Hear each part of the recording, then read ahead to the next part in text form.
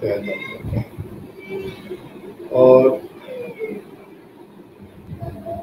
مسئلہ یہ ہے کہ ہمارے یہاں جو تکلیف دہ بات ہے وہ یہ ہے کہ جب آپ مسجد میں داخل ہو تو آپ کو جو پہلا سامنا کرنا پڑتا ہے وہ ٹوائلٹ کا کرنا بجائے سے کہ مسجد میں خوشبو ہو، ہمارے یہاں کی اکثر مساجد میں، ساری نہیں، اکثر مساجد میں۔ آپ کو اسمیل آئے گی مسجدیں بنانے کا شوق ہے، لیکن مسجد کے جو پروٹوکالز اس کو پورا کرنے کا کوئی پتہ نہیں بس مسجد ہونی چاہیے اور ہمارے فرقے کی ہونی چاہیے۔ آج کل پاکستان میں یہی رہ گیا۔ اللہ تعالیٰ لیکن جو جہاں پہ بھی اللہ کی عبادت کی جائے، اس جگہ چاہے وہ مسجد ہو، چاہے وہ گھر کا کپڑا ہو، چاہے وہ کوئی بھی جگہ ہو کوشش یہ کرو کہ وہاں خوشبو صاف رہے اور خوشبو رہے اب آ جائے اس کی صوفیانہ تفسیر کی طرف۔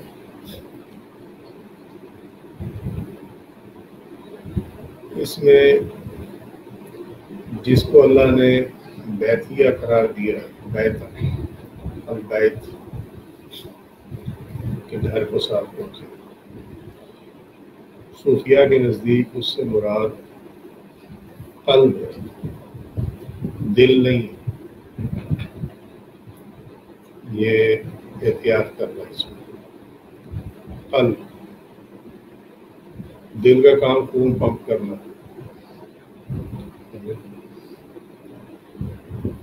بات عقل شریف میں آئی۔ نہیں دل کا کام خون کو پمپ کرنا ہے وہ گوشت کا دوست ہے مگر قلب جو ہے وہ اس کے اوپر ایک لیر ہے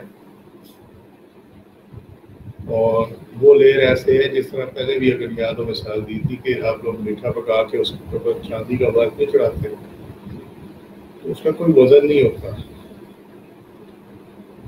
کوئی اس میں ایڈیشنل آپ کو ویٹ محسوس نہیں ہوتا۔ اگر وہ کاغذ کے اوپر نہ لگا ہو چاندی کا ورق، تو آپ اس کو جج بھی نہیں کر سکتے۔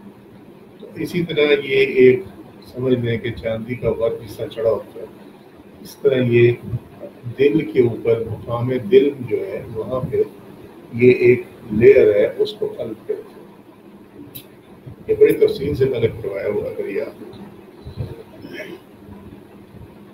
تو وہ جو گھر ہے، جس کو اللہ نے فرمایا صاف رکھنے کے لیے، وہ دل نہیں ہے، بلکہ وہ قلب، لطیفہ قلب۔ لطیف اگر یاد ہو پچھلے دنوں اللہ کے اوپر سے کروایا تھا کہ یہ جو اسماء حسنہ میں ہے ہو۔ یہ اللہ سبحانہ و تعالیٰ کی وہ صفت ہے کہ جس میں وہ موجود تو ہے، مگر اس کے ہونے کا احساس نہیں ہوتا۔ موجود تو ہے پتہ نہیں لگتا۔ تو اسی طریقے سے اس کو کہتے ہیں لطیفہ قلب۔ کہ یہ ہے تو صحیح، مگر اس کے ہونے کا احساس نہیں ہوتا۔ تو وہ احساس انہیں کو ہوتا ہے جو جن کے پاس اللہ کی رحمت ہو۔ اور اللہ کے ہونے کا احساس بھی انہیں کو ہی ہوتا ہے جس پہ اللہ کی رحمت عام بندے پہ نہیں ہوتا ہے اخلاق اس کا اینی وے تو اس قلب کو صاف رکھنے کی ضرورت ہے۔ اور اگر یہ گندا ہو، تو اللہ سبحانہ تعالیٰ کے ہونے کا بھی پتہ نہیں لگتا۔ اللہ سبحانہ تعالیٰ کے احسانات کا بھی معلوم نہیں ہوتا اور اللہ سبحانہ تعالیٰ کے جو عجائب ہیں اس دنیا میں، اور قرآن میں جو اس کا علم ہے، اس کا بھی نہیں پتا دو آنکھیں جو دیکھتی ہیں اور دماغ جو سمجھ سکتا ہے بس انسان اسی کا محتاج ہو کے مگر جب یہ قلب صاف ہو، تو نماز میں مشاہدہ حق بھی ہو جاتا۔ ہے ارد گرد اس کے ہونے کا احساس بھی ہوتا۔ ہے اس کی نعمتوں کا انسان احسان بھی سمجھتا۔ یہ تمام چیزیں اسی ٹائم ہوتی تو اس کے لیے حکم کیا گیا کہ اس پہ توجہ دو قلب پہ لطیفہ قلب پہ۔ اور جب یہ صاف ہوگا تو پھر معاملات جو ہیں وہ آگے چلیں گے۔ یہ ڈفرینس ہے دو قسم کے لوگوں میں۔ ایک تو وہ ہے نا جو نماز روزے کا بھی نہیں ہے، وہ تو آپ اس کو سائڈ پہ کر دو۔ ایک وہ ہے جو کہ پانچ وقت کے نمازی بھی ہیں۔ پانچ وقت کے نمازی بھی ہیں۔ سکاط بھی پوری ادا کرتے ہیں۔ حاج عمرہ بھی کرتے ہیں۔ روزے بھی تراوی بھی پڑھتے ہیں۔ سب کچھ ہوتا اور دوسری سائڈ پہ جو دوسرا گروپ ہے، وہ بھی یہی کرتا ہے۔ مگر دونوں کے درمیان جو فرق ہے، وہ یہ ہے کہ ان میں سے ایک کا لطیفہ قلب صاف ہوتا ہے اور ایک کا لطیفہ قلب صاف نہیں ہوتا سمجھ میں آئی اب کر تو وہ سب کچھ رہے نمازیں بھی ادا کر رہے ہیں، ہر چیز کر رہے ہیں، تمام فرائض کو پورا کر رہے ہیں۔ بظاہر شریعت پہ قائم بھی ہے۔ مگر دل میں تکبر خود پسندی، حسد، نفرتیں، بغض، کینہ، جھوٹ یہ اس طرح کے تمام غلازتیں جو ہیں، انہوں نے لطیفہ قلب کو بالکل ہی دلا دیتا ہے بلکہ کہنا چاہیے کہ زنگ لگا دیتا اس، یہ ہے وہ ڈفرنس جو کہ پانچ وقت کے نمازی شریعت قائم بندے اور اللہ کے ولی کے درمیان ہوتے ہیں۔ اللہ کا ولی بھی شریعت کو پورا کرتا ہے۔ یہ نہیں کہ نمازیں چھوڑ دیتا ہے یا روزے چھوڑ دیتا ہے سب پورا کرتا مگر جس کا لطیفہ قلب صاف ہے، وہ اللہ کی بارگاہ میں قرب رکھتا ہے۔ اللہ اس کو عطا فرماتا اپنا قرب۔ مگر جس کا لطیفہ قلب صاف نہ ہو، مگر اس کی شریعت بھی پوری ہے۔ تو اللہ سبحانہ و تعالیٰ کے ہم وہ قرب تو نہیں پا سکے گا، کیونکہ لطیفہ قلب صاف نہیں ہے۔ صرف یہ ہے کہ جو عبادت اس نے کیا اللہ سبحانہ و تعالیٰ اس کو اس کا اجر ضرور عطا فرمائے۔ اب چاہے وہ دنیا میں عطا فرما دے، اگر لطیفہ قلب میں دنیا کی محبت ہے، تو ہو سکتا ہے کہ اللہ سبحانہ تعالیٰ اس کے اعمال کی جزا اس دنیا میں دے۔ کیونکہ یہ قرآن پاک میں اللہ سبحانہ تعالیٰ نے کلیئر فرمایا ہوا کہ جو دنیا میں اپنی اعمال کی جزا چاہے ہم اس کو دنیا میں دے اور جو چاہے کہ اس کو آخرت میں ملے تو ہم اس کو آخرت میں عطا کریں۔ یہ اللہ سبحانہ تعالیٰ کا فیصلہ ہے۔ تو اگر دل میں محبت ہو دنیا کی، تو پھر اللہ سبحانہ تعالیٰ اس محبت کا ہی بندے کو کرنا اس لیے اس آیت میں فرمایا گیا ہے کہ یہ جو بیت ہے میرا، کیونکہ وہ زمین و آسمان میں تو نہیں سما سکتا وہاں سے کرسی سماواتی والا۔ ٹھیک ہے۔ مگر وہ مومن کے قلب میں، لطیفہ قلب میں وہ سما اب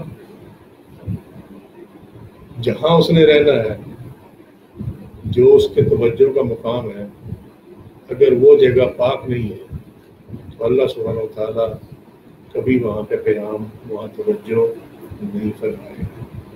یہ بہت بڑا فرق ہے۔ ہم، ہمارا جو المیہ ہے، یہ ڈائلما المیہ ہے ہمارا۔ کہ ہم لوگ نماز روزے کی طرف تو توجہ دیتے ہیں۔ اچھی بات۔ مگر ہم لوگ جھوٹ بولنے کو اپنی مہارت سمجھتے ایک دوسرے سے کینا بوز رکھیں گے، سینوں میں نفرتیں رکھیں گے، حسد کریں گے۔ اور اپنے آپ کو بہت اچھا سمجھیں کیونکہ پانچ وقت کی نماز جو ادا کر لی۔ تو وہ اب ہم جو ہے وہ دوسروں سے بہت اچھے ہو گئے۔ یہ تمام چیزیں لے کے ڈوب جاتی اللہ کا بندہ اللہ کی دیر توفیق سے کرتا بھی سب کچھ ہے، مگر اس کے دل میں کبھی یہ خیال نہیں آتا، یہ اللہ کی دیر توفیق ہوتی ہے کہ وہ کوئی چیز ہوتی یہاں ہونا نہ ہونا ہے، نہ ہونا ہے ہونا۔ جو کہے نا کہ میں کچھ ہوں، اس کا مطلب کچھ بھی نہیں۔ اور جو کہے کہ میں کچھ نہیں ہوں، وہی اصل سب کچھ ہے۔ جسے ہونا ہو کچھ خواہ کے ذرے جانا ہو۔ تو اب آگے اس میں بات وہ ہوگی کہ اگر صاف نہیں ہوگا، لطیفہ کا۔ تو اللہ کی توجہ نہیں ہوگی، اللہ کا قیام اس میں نہیں ہوگا۔ تو اللہ نے جو البیت فرمایا ہے، وہ قلب جو ہے، وہ اس کا بیت نہیں یعنی اس کا گھر نہیں ہوگا۔ خانہ کعبہ ایک علامت ہے، ایک مرکز ہے، تاکہ سب جو ہے، یہ بھی توحید کا حصہ ہے کہ سب ایک رخ میں نماز ادا کریں اور اس کو بیت اللہ کہا جاتا ہے لیکن عالمانہ تفسیر بھی اس کی ہے۔ مگر دیکھنے والی بات یہ ہے کہ سب کعبے کی طرف رک کر کے نماز ادا کرتے ہیں۔ مگر قرب الہی سے کوئی کوئی نوازا نہیں سجدہ تو سارے اللہ کو کریں مگر اللہ سبحانہ تعالیٰ اپنا قرب کسی کسی کو ہوتا اس کی وجہ کیا ہے؟ اس کی وجہ یہی ہے کہ انہوں نے کعبہ کی طرف رخ کر کے نماز ادا کی، سجدہ کیا۔ سر کو تو جھکا دیا، مگر اپنے آپ کو نہ جھکایا۔ سر تو سجدے میں چلا گیا، مگر حقیقت جو اس کے اندر ہے، وہ سجدے میں نہیں ہے۔ جب تک وہ سجدے میں نہیں ہوگا، تب تک کام نہیں بنے۔ یہ جو فرمان ہے نا اللہ کا کہ وہ لمبر و نافر و ظاہر و ٹھیک؟ تو یہ جو ظاہر اور باطن کا اس نے اپنی صفات کے ذریعے ذکر کیا ہے، اس کی بڑی اہمیت ہے۔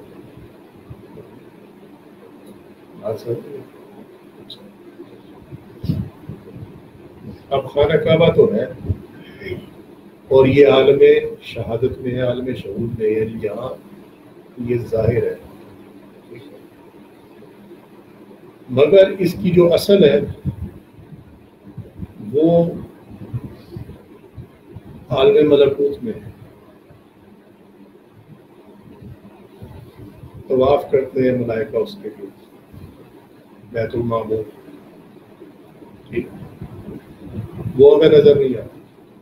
اس لیے نظر نہیں آتا کہ وہ باطن کی چیز ٹھیک۔ اسی طریقے سے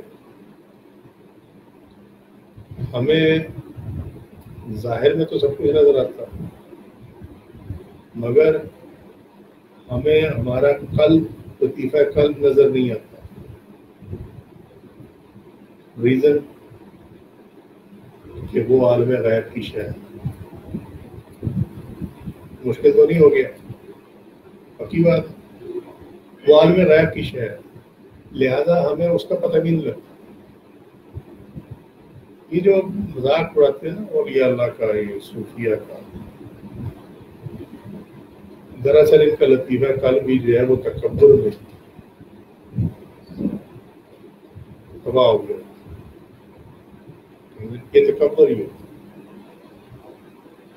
وہ کہتے ہیں نا کہ جب آپ کسی کو پیر سمجھتے ہو تو دو ہی باتیں یا آپ اسے دور سے دیکھ رہے ہو یا آپ اسے غرور سے دیکھ رہے ہو۔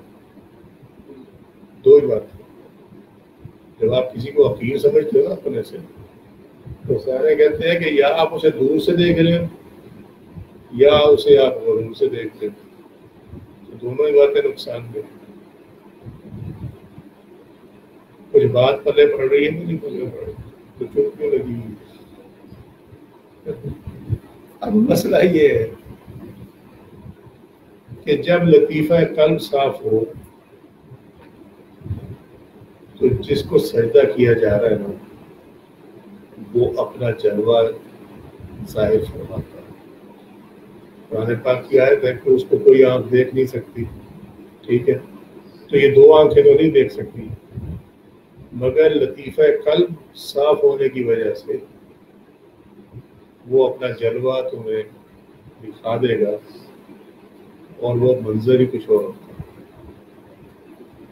تو معلوم ہوتا ہے کہ کس کو سجدہ کیا۔ ابھی تو اندھیرا ہوتا ہے نا سجدہ تو کر رہے ہیں تو پتا کوئی نہیں یہ پتا ہے منہ میں کعبہ شریف ایسے ہی ہے اب یہاں ایک بات بڑی امپورٹنٹ ہے وہ سن لو ایک بزرگ تھے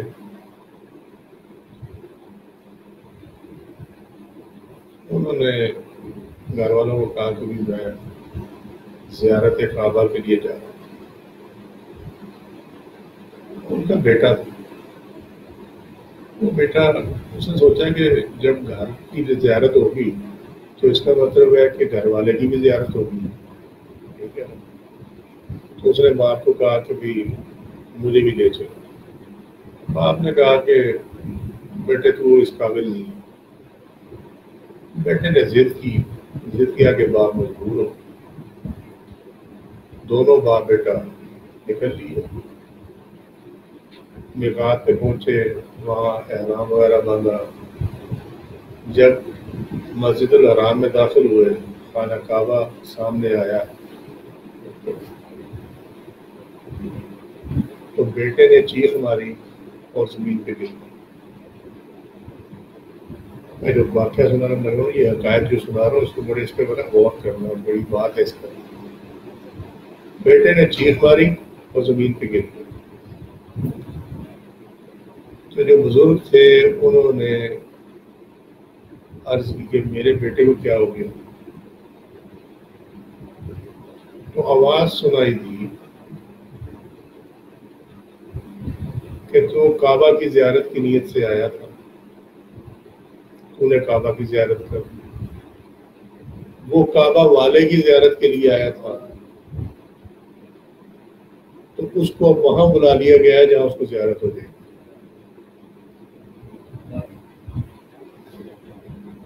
وہ پھر بڑے تمہارا آواز ہے۔ تو تمہارا بیٹا نہ زمین میں ہے، نہ آسمان میں۔ یہ کیونکہ بچہ غائب ہو گیا؟ پہلے تو گرا نا جب باپ نے وہ آواز سنی اس مڑ کے دیکھا بچے کی طرف، تو بچہ غائب تھا۔ تو آواز آئی کہ تمہارا بیٹا نہ زمین پر ہے، نہ آسمان پر ہے، نہ شرق میں ہے، نہ غرب میں ہے۔ وہ اس کے پاس بلا لیا گیا ہے، جس کی زیارت کے لیے وہ آیا تھا۔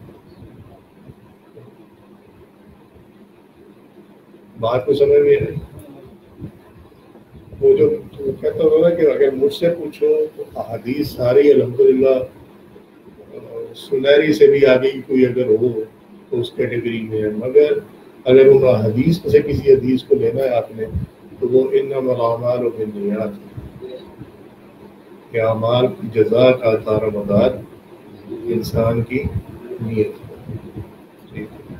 یہی بار بار سمجھاتا ہوں کہ اگر آپ اللہ کو سجدہ جنت کی لالچ میں کریں گے نا تو پھر آپ کو قرب نصیب نہیں ہونے لگا۔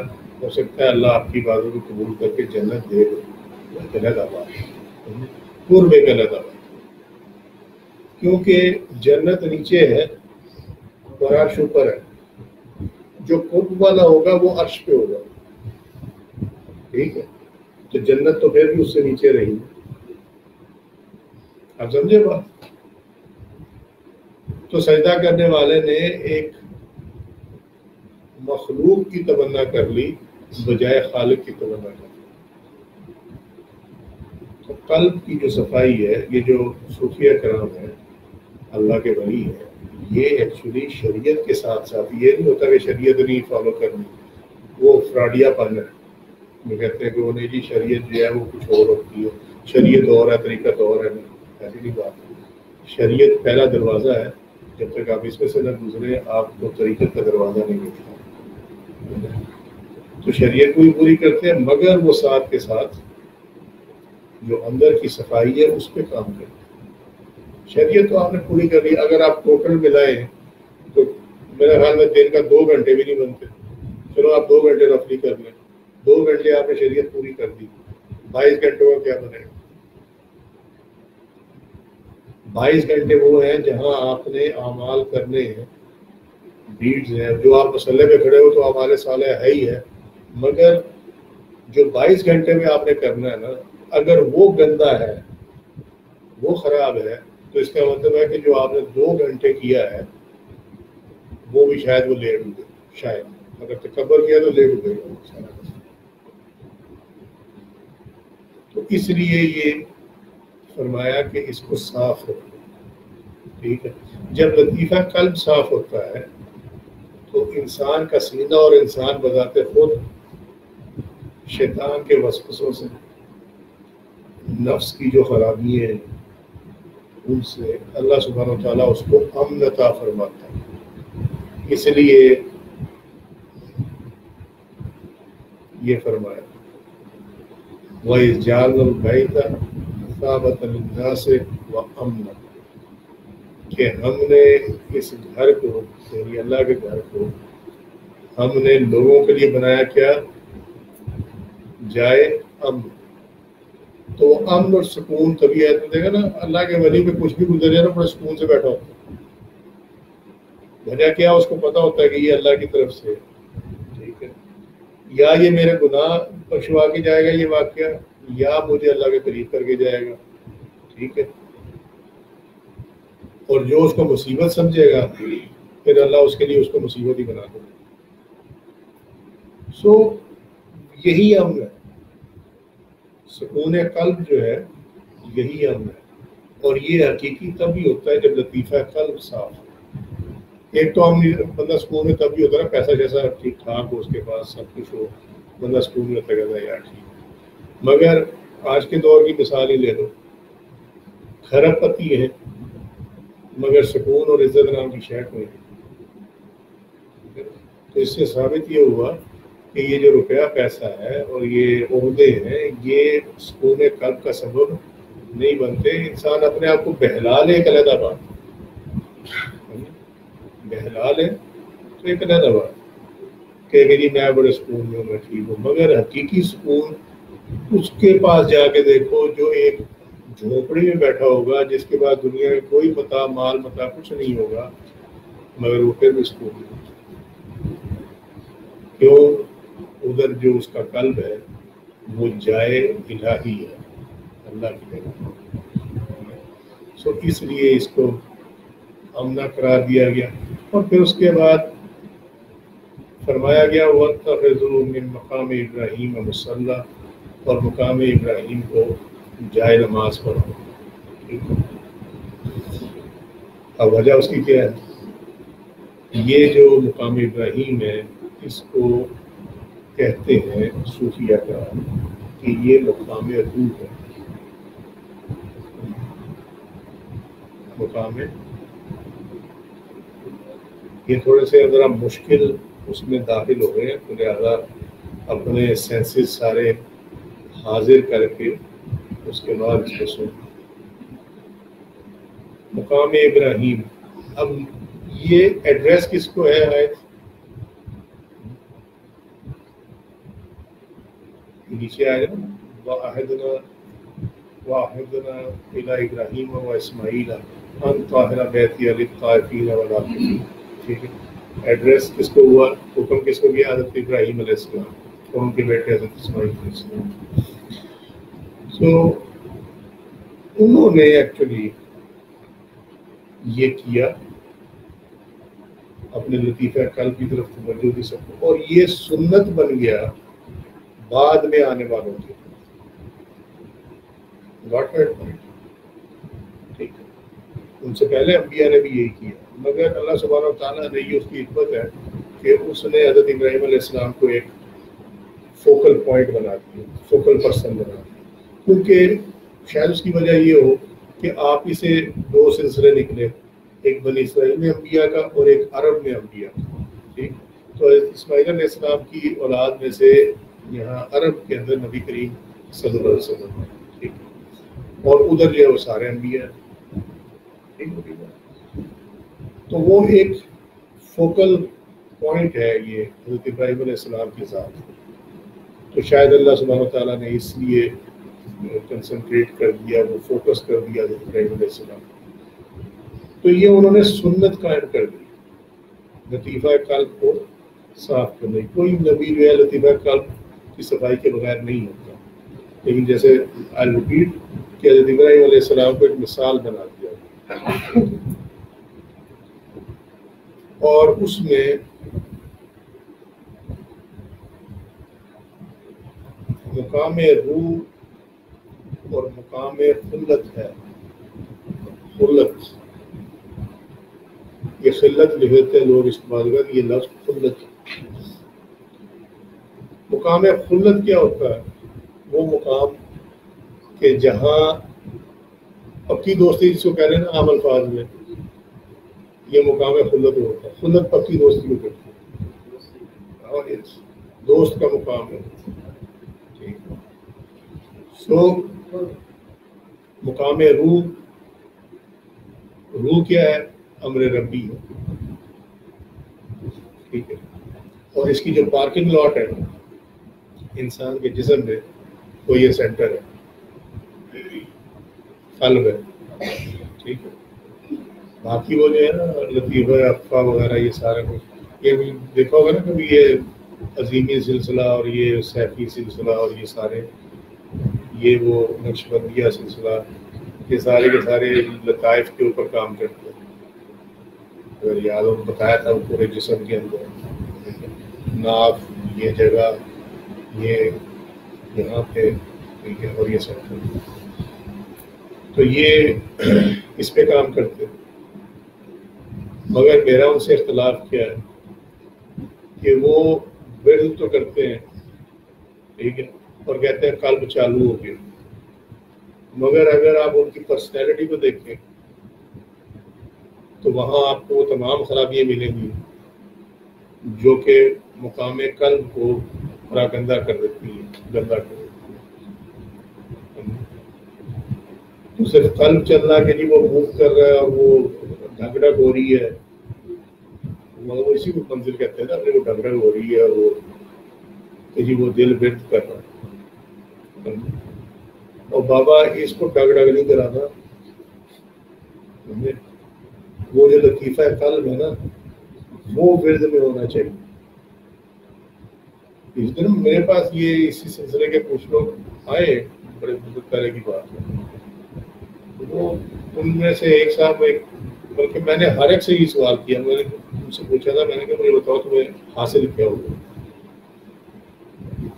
میں کچھ بھی حاصل نہیں ان میں ایک صاحب آئے اور اپنا جو ان کا لباس وغیرہ ہوتا ہے کہنے جی خلافت نامہ مل گیا۔ سند ہے، میرے پاس لکھی ہوئی میں نے کہا، پھر اب کس لیے آئے ہو، یہاں پہ خلافت نامہ تو مل گیا۔ کہنے جی وہ تو مل گیا، مگر قرب الہی نہیں ملا۔ میں نے کہا برفودار وہ قرب الہی اور چیز ہے۔ یہ کاغذ کا ٹکڑا اور چیز ہے۔ اگر جس طرح یہ آپ ان سے ملو گے نا کبھی مل گئے تو وہ آپ کو محسوس ہوگا، وہ کہنا ڈھک ڈھک کرتا ہوا ہاں۔ وہ ایسے بقاعدہ اس کا کٹ لگا کے پڑھتے ہیں۔ مگر اگر وہ معاملہ اس طرح ہی ہوتا ہے جس طرح بیان کیا جاتا ہے، تو پھر ان ساروں کو ولی اللہ ہونا چاہیے۔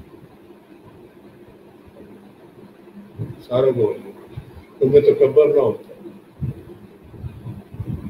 ان میں جھوٹ نہ ہو باقی چیزیں نہ ہو اپنی خواہشات کے غلام نہ ہو سو اعضاء کی عبادت اور ہے۔ روح کی عبادت اور۔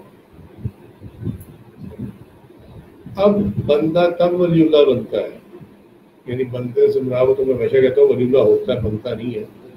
مطلب یہ ہے کہ جو مقام ولایت ہے نا، وہ یہ ہے کہ روح اور اعضا ان کی عبادت یکجا ہو جائے۔ سمجھے؟ یکجا کیسے ہو جائے؟ کہ روح بھی جھکی ہوئی ہے اور اعضا بھی جھکے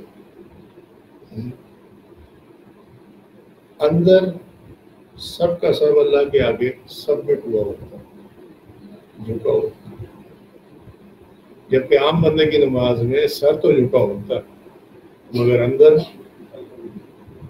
ایسے تکبر کے ساتھ کھڑا یہ بات پلے پڑ رہی ہے یا نہیں ٹھیک ہے اچھا اب یہ جو مقام نماز یعنی جائے نماز کا فرمایا یہاں آ گیا معاملہ حقیقی نماز کا اور جو ریگولر نماز ہے اس کا جب روح، مقام روح، مقام قلب، یہ صاف ہوگا تو بندہ اس ٹائم حقیقی نماز ادا کر سکتا کیونکہ حقیقی نماز کی پہچان یہ ہے اور اس کی ایک ہی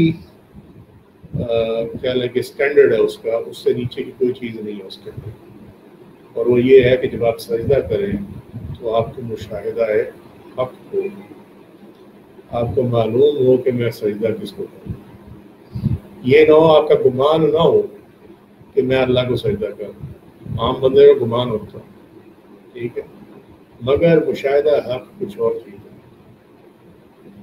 اور اس نماز کی نشانی یہ ہے کہ جب مشاہدہ حق کے بعد آپ نماز سے فارغ ہوتے ہیں تو آپ کا اندر پہلے سے زیادہ صاف ہوتا ہے۔ بعض لوگوں نے دیکھا ہوگا کہ نماز جتنا پڑھتے ہیں، جتنا حج کرتے ہیں، اس سے زیادہ خبیص ہو جاتے ہیں۔ پہلے سے زیادہ خبیص ہو جاتے ہیں۔ پہلے سے زیادہ جھوٹے ہو جاتے ہیں۔ سب کچھ ہو جاتا ہے۔ وجہ اس کی یہ ہوتی ہے کہ وہاں حج یا نمازیں جو ہیں، وہ ایک خود پسندی اور تکبر کا ایلیمنٹ رکھتی ہیں۔ وہاں نیت جو ہے، وہ یہ ہے کہ دنیا مجھے نمازی کہے اور دنیا مجھے حاجی کہے۔ سمجھے؟ سمجھ میں آ رہی ہے؟ اور حقیقی نماز یہ ہے کہ بندہ اللہ کے لیے کرے، نہ جنت کی لالچ میں کرے تو نہ دو کے خوف سے اور وہ مشاہدہ حق جب ہوتا ہے تو اللہ سبحانہ تعالیٰ نور عطا فرماتا ہے۔ وہ نور دشمن ہے ظلمت کا، اندھیرے کا۔ اور اندھیرا کیا ہے؟ شیطانی وسواس، نفس کی خواہشات۔ ٹھیک ہے۔ یہ خبیصوں والے جو عادات ہیں خصلتیں یہ تمام اس میں ایڈ کرتے چلے گئے ٹھیک۔ ہے بات سمجھ میں آئی؟ تو وہ جب حقیقی نماز سے نور عطا ہوتا ہے وہ نور مقام قلب کو اور آپ کی روح کو کیا کرتا ہے؟ نورشمنٹ دیتا ہے۔ ٹھیک ہے۔ اس کی بالیدگی کرتا ہے ایلومینیشن ہوتی ہے، تجلیات بڑھتی ہیں۔ بندہ پہلے سے زیادہ اللہ کے آگے جڑتا ہے اور تمہیں ایک قول بھی بتا دیتے ہیں کہ جس کا کل، جس کا آج، کل کی نسبت بہتر نہ تھا، اس نے کفر کیا۔ کہ جہاں جس کا آج گزرے ہوئے کل سے بہتر نہ تھا، اس نے کفر کہ جو آپ کل تھے، اگر آپ کل بند تھے تو آج آپ کو کم بند ہونا چاہیے۔ کل کو اس سے کم ہونا چاہیے، پرسوں کو اس سے کم ہونا چاہیے۔ اور اگر کل آپ نیک تھے تو آج آپ کو پہلے سے زیادہ نیک ہونا چاہیے۔ کل کو اس سے زیادہ نیک ہونا چاہیے۔ اگر آپ اللہ کے آگے جھکے ہوئے تھے تو آج زیادہ جھکنا چاہیے۔ کل کو اور زیادہ جھکنا چاہیے، ٹھیک ہے؟ کل آپ کے پاس علم تھا، آج آپ کے پاس کل سے زیادہ علم ہونا چاہیے۔ کم از کم ایک بات کل سے زیادہ ایڈڈ ہونی چاہیے کہ آپ نے کچھ نیا سیکھا ہے، ٹھیک ہے؟ اگلے دن کچھ نیا سیکھا ہے۔ So life goes like this آپ ایسے چلتے چلے گئے مگر ہمارے یہاں کیا ہے؟ ہم ایسے جاتے ہیں۔ نیچے۔ ہمارا آج جو وہ کل سے زیادہ بگڑا ہوتا ہے۔ کہ ہماری حرکتیں ساری کی ساری۔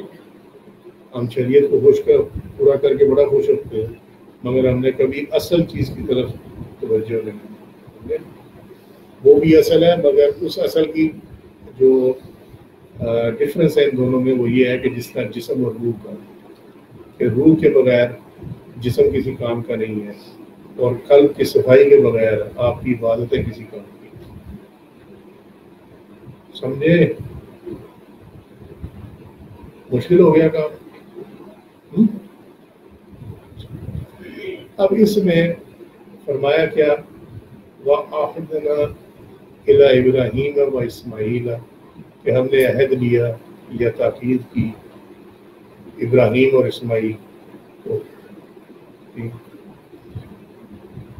علیہ السلام۔ ان طاہرہ کہ وہ پاک کرے۔ بیتیا میرے گھر کو۔ لطائفین کہ وہ سنت بنے طواف کرنے والوں کے لیے۔ ولاقفین اور اعتکاف کرنے والے ٹھیک ہے۔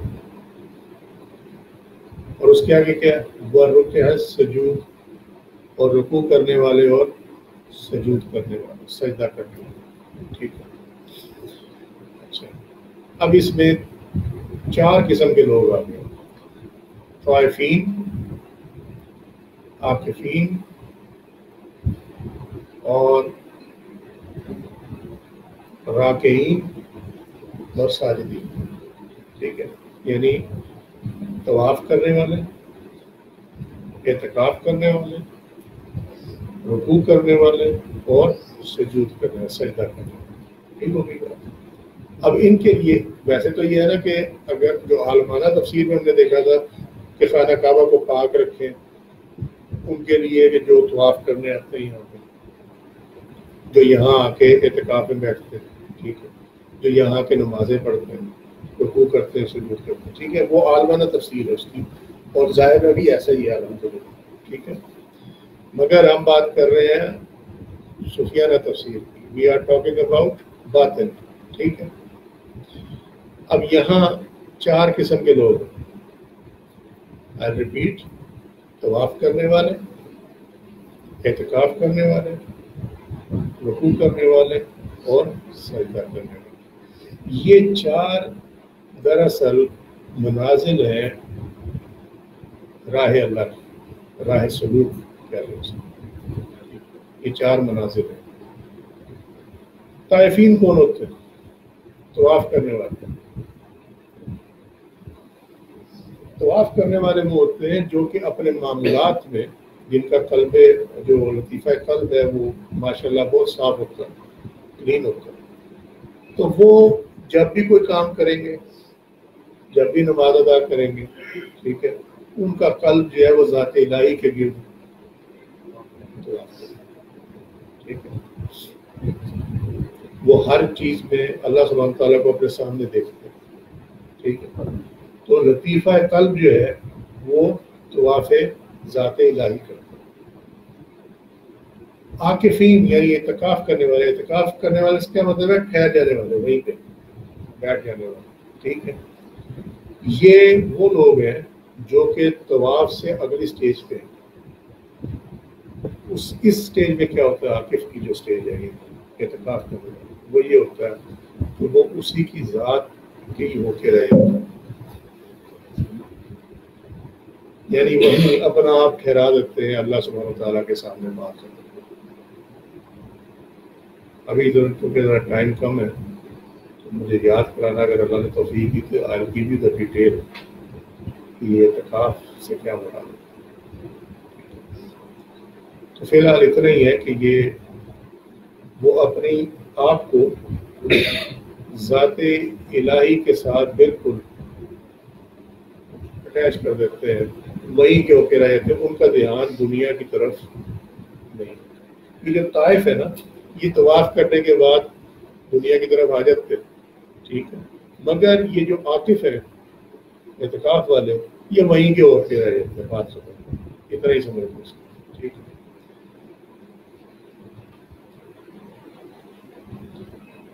رکوع کرنے والے۔ اب رکوع میں اور دیکھنا سجود میں کیا فرق ہے؟ اگر آپ ظاہری اس پہ لیں تو رکوع جو ہے وہ ہاف سجدہ ہے۔ ٹھیک ہے؟ بندہ اپنے قدموں پہ قائم رہتا ہے۔ ٹھیک ہے؟ نچلا دھڑ اس کا سیدھا ہے اور اوپر کا دھڑ اس کا ایسے جھکا ہوا ٹھیک؟ ہے ایسے ہی ہے نا رکوع۔ ٹھیک ہے؟ تو یہ ہاف سٹیج ہے۔ ہاف سٹیج کا کیا مطلب ہے؟ کہ اب وہ جو ہے وہ مقام رضا کی طرف ہے۔ عاقف ہوا نا؟ تو اس نے اپنے آپ کو اللہ کے حوالے کر دیا باپ سے ٹھیک ہے۔ رکوع میں جانے کا مطلب یہ ہوا کہ اب وہ اس کی جو وہاں اس نے اپنے آپ کو اللہ کی رضا اور اللہ کے حوالے کر دیا۔ ٹھیک ہے۔ اور رکوع میں یہ ہوا کہ اب اللہ سبحانہ و تعالیٰ نے اپنی رضا جو ہے اس کا رخ بندے کی طرف ہوا ٹھیک ہے۔ اب وہ رضا اور کمال کے مقامات پہ۔ ٹھیک ہے۔ اور پھر جب وہ سجدے میں چلا جاتا ہے، تو رکوع کو دوبارہ سن لو تاکہ کلیئر ہو جائے گا۔ میرا خیال نہیں سمجھ میں آئے گا رکوع کا مطلب یہ ہوا کہ جو اللہ چاہے۔ ٹھیک۔ عاقف میں تو اس نے اپنے آپ کو حوالے کر دیا۔ اب رکوع میں یہ ہے کہ عملاً جو اللہ وہ جھوک گیا بات ختم ہو گئی۔ اور سجدے میں جب گیا تو اس نے اپنا وجود جو ہے اس کو ختم کر دیا۔ یہ نہیں کہ خودکشی کر لی، ایسا نہیں ہوتا۔ مقصد یہ ہے کہ وہ اس نے اپنے آپ کو اللہ کی ذات میں فنا کر دیا۔ وہ اب کہتا ہے، میں نہیں ہوں۔ ہمارے یہاں تو یہ نا، میں ہوں، میری فلانی چیز، میری فلانی چیز۔ تو کہتا ہے، جو کچھ بھی اللہ کا ہی ہے۔ میری ذات کچھ نہیں، میری ذات سب۔ ٹھیک ہے، میں نہیں ہوں۔ اس کو ادر ورڈس میں کہتے ہیں، میں نہیں ہوں۔ ٹھیک ہے، تو ہی تو۔ ٹھیک ہے، یہ مقام ہے صحیح۔ اب سمجھے بات؟ آج سمجھ میں آئی؟ ٹھیک ہے، یہ مقام ہے سجدہ، یہ سجدہ کرنے والے اب جو لطیفہ قلب کی صفائی ہے، وہ سنت بن گئی۔ طائفین کے لیے عقفین کے لیے راکعین کے لیے اور حاجرین کے لیے، ٹھیک ہے؟ کہ یہ طریقہ ہے جس پہ چلنا ہے۔ تو یہ اس کی صوفیانہ تصویر بات سمجھ میں آ رہی ہے کہ نہیں سمجھ میں آئی؟ مجھے پتا ہے یہ مشکل چیز ہے۔ لیکن تمہیں سمجھ آ رہے چاہیے اس لیے کافی ٹائم ہو گیا۔ اور یہ باتیں تمام پہلے الحمد للہ کسی نہ کسی طریقے سے کروائی ہوئی ہے ساری۔ ہے سو اللہ سبحانہ تعالیٰ سب خیال کے رحم کرے، ہمیں اس طرح عمل کرنے کی توفیق عطا فرمائے جس سے اللہ راضی ہو۔ ہمارے اندر البلاغ، واللہ ورسول اللہ السلام سبحانك اللهم وبحمدك اشهد ان لا اله الا انت استغفرك واتوب اليك عملت رسول ظلمت نفسي فاغفرني فانه لا يغفر الذنوب الا انت۔ سبحان ربك رب العزه عما يصفون وسلام على المرسلين والحمد لله رب العالمين assalamu alaikum.